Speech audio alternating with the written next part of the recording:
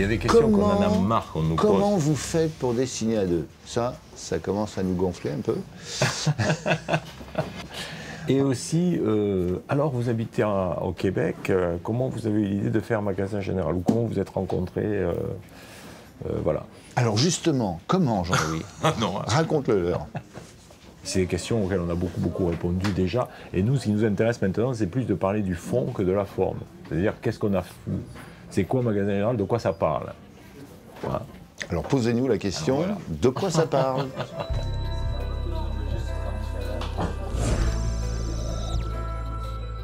Jean-Louis, ça parle de quoi au fait? Alors, Magasin Général, c'est un, c'est un roman graphique, d'abord, et c'est un roman graphique qui parle de, d'émancipation. C'est l'émancipation d'une, d'une femme qui va entraîner derrière elle l'émancipation de toute une communauté, de tout un village. Voilà, au Québec, dans les années 20. Voilà, l'interview est finie. Bon, on n'a pas parlé de l'arc, euh, l'arc Ah, de narratif. l'arc narratif. Mais ça, c'est. On- on va en attend. parler. On va attendre. On va attendre.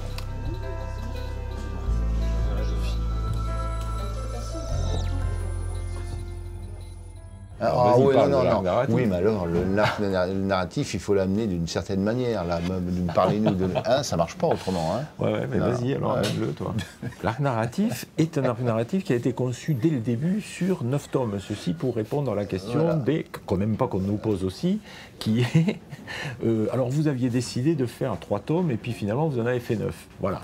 Parce que, euh, en fait, ce qui s'est passé, c'est que comme nous, on voulait faire un roman graphique, on a fait ça comme un roman.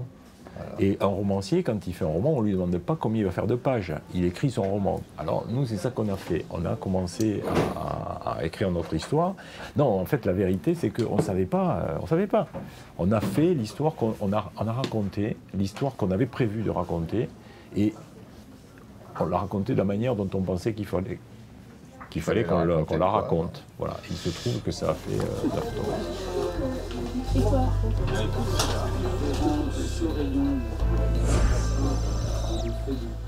On peut avoir des séquences euh, fétiches, mais euh, un tome euh, fétiche, non, puisque c'est un roman, donc euh, il n'y a pas un chapitre meilleur que l'autre. Puis après, il y a des séquences qu'on a eu beaucoup de intimes, des séquences d'émotion. Ouais, la, la séquence de la mort de, de Louise, par exemple, la grand-mère de Jacinthe, qui a été euh, une chose très très euh, très comment dire Émouvante. très émouvante à écrire. Oui, c'est ça, très émouvante à écrire. euh, bon, voilà.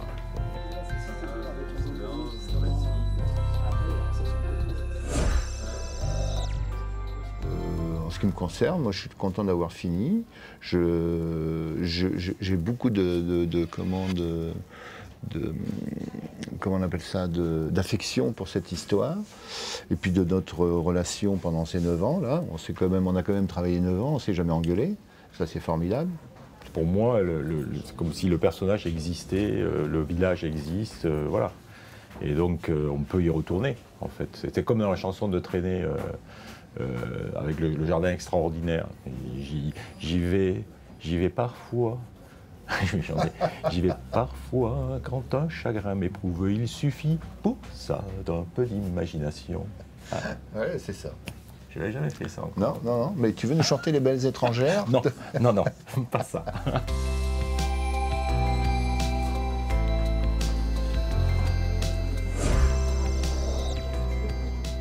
On a, on a entendu des critiques, pas, pas idiotes, parce que je ne me permettrai pas de, de juger de ça, mais, mais agaçantes, parce qu'elles mettaient en doute notre intégrité. Et ça, ça a été assez pénible. C'est quand on était vers le tome, on a commencé à arriver vers le tome 6, 7, et qu'il y a des, des gens qui ont commencé, puisque comme on avait annoncé qu'on en ferait 3, et puis après 6, et qu'il y a des, des critiques qui ont commencé à apparaître sur le thème Ah, ça marche, alors ils, ils rallongent la Ouais, sauce. il, tire, il tire- il tire sur la corde. Alors ça, ça a été assez pénible. Le retour qu'on a, nous, de la part de nos lecteurs, euh, est, est exceptionnel. Quoi. Enfin, je veux dire, c'est, c'est vraiment... euh, c'est vraiment touchant pour nous de voir à quel point les gens nous renvoie euh, Ouais, le, bon- bonheur ça les qu'ils a ont eu. touchés, ouais, ouais. justement, comment ça les a émus et, et comment ils sont attachés à ces personnages, etc. etc. On a quand même, ça nous arrive d'avoir des, des gens qui, qui, qui ont la larme à l'œil, quand ils, qui, qui même qui pleurent carrément. Euh, en temps des dédicaces, ou même un journaliste, par exemple, qui a fini une interview euh, avec la larme à l'œil. C'est moi qui l'ai consolé C'est quand, quand même très touchant, quoi. Ça, c'est vraiment formidable.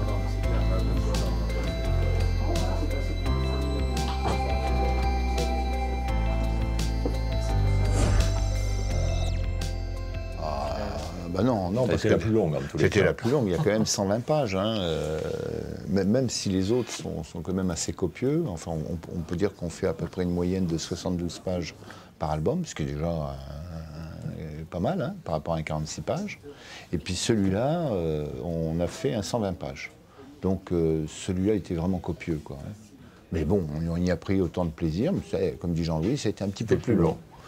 Mais ça- plus long. Ça n'a pas été ni plus facile ni, plus difficile que les autres. Ça a été comme. euh, on n'a on pas. euh, euh, je veux dire que dans l'écriture du scénario, on a, on a toujours.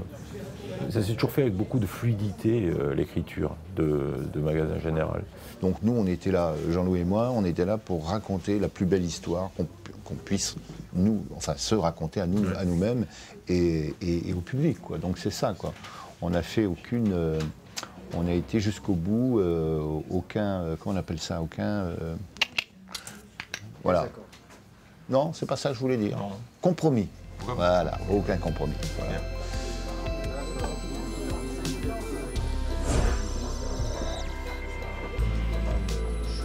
Ah, ça, c'est une question originale, toi, ne me l'a jamais posée. Ouais, c'est bien. On va y, on va répondre d'une manière originale peut-être. Euh, Euh, Je suis pas sûr, non Je sais pas. Moebius Ouais, Moebius. Moebius. ouais. Alors, est-ce que ce sont des influences ou est-ce que ce sont des gens qu'on a vraiment beaucoup admirés, euh, regardés? Évidemment, Moebius, c'est le passage obligé. Mais euh, ni lui ni moi faisons du Moebius, quoi. Non. Euh, c'est, euh, qui a présidé à, à- à la création de Magasin Général et à l'esprit, qui a défini l'esprit de Magasin Général, c'est Franck Capra. Ouais. Alors là, c'est- ça pourrait être une influence commune, effectivement, Ouais, elle c'est est ça. dans le cinéma, mais là, c'est Mhm, c'est- certain qu'elle est forte. c'est vraiment le, le bonheur des petites gens avec un fond euh, quand même euh, là pour Magasin Général qui est un peu plus, peut-être un peu plus soutenu. euh, mais euh, non, c'est ça, c'est vraiment Franck Capra.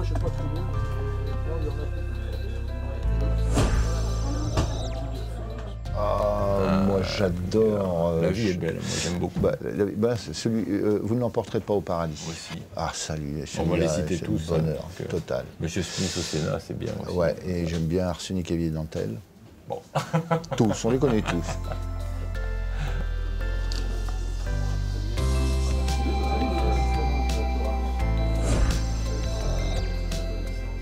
Bah, moi, je vais faire un Mickey. Voilà, Mickey Mouse, euh, années 30. Un vieux, enfin, un, un vieux Mickey, quoi. Voilà. Qu'est-ce que veux vieux je vous Mickey, dis. Un vieux Mickey hein, en noir et blanc, avec de la trame. Mickey de 80 euh. J'aimerais bien avoir un format, un grand format à l'italienne. euh, voilà. Et moi, je vais faire un, un roman graphique, euh, autobiographique. Et je ne peux pas en dire plus pour le moment. On n'est pas très bavard. Hein, vraiment, je ne peux pas en dire plus.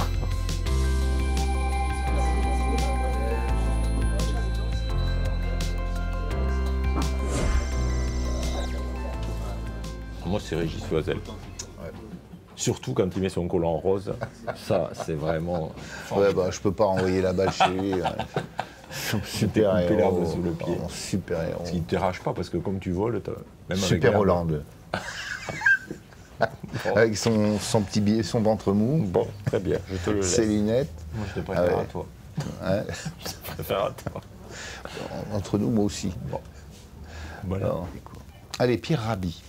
Ah, bon, oui, mais alors Pierre là, Rabhi. Voilà.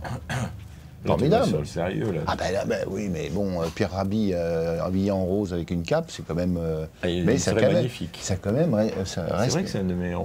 Ben ouais, très bien. On vous Alors, je vais dire, moi, je vais dire Albert Jacquard. Il- il- il- Ah. Et là, les deux ensemble, en super, avec le petit collant, c'est formidable. Voilà.